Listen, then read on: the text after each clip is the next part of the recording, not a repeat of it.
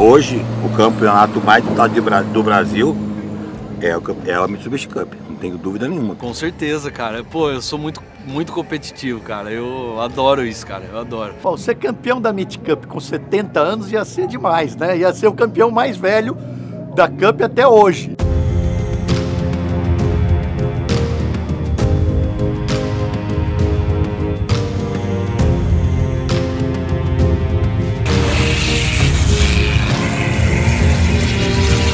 Importante é competir. É uma verdade parcial. Todo mundo está aqui para ganhar, né?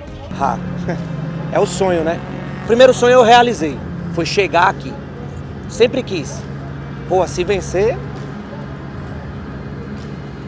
Sem palavras.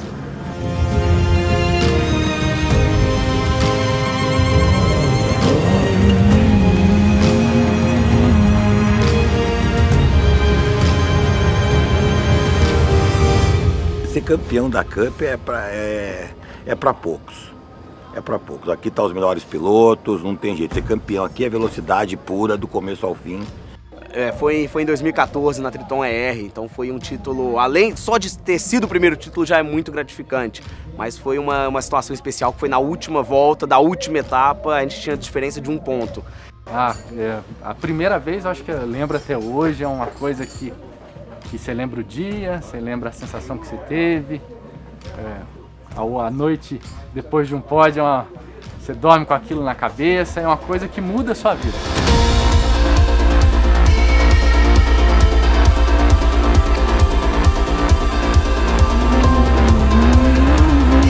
Eu acho que quanto mais tempo eu andar, mais chance eu tenho. Quem sabe esse ano não está perto, né? Vamos, vamos focar, vamos focar. Tem muita coisa pela frente aí, né? Estamos em segundo, alguns pontos no primeiro. O primeiro abriu um pouquinho na última etapa agora. Cada etapa que nós ganhamos é um passo para a conquista do, do, campeonato, né? Então temos que dar passos consistentes e chegar no, no objetivo que é ganhar o campeonato.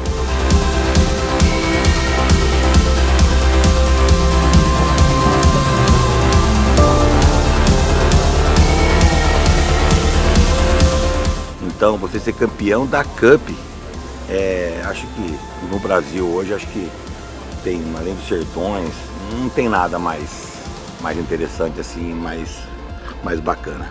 Mas nada é impossível, vamos focar, vamos fazer um trabalho bem feito que o resultado vem, eu tenho certeza que ele vem.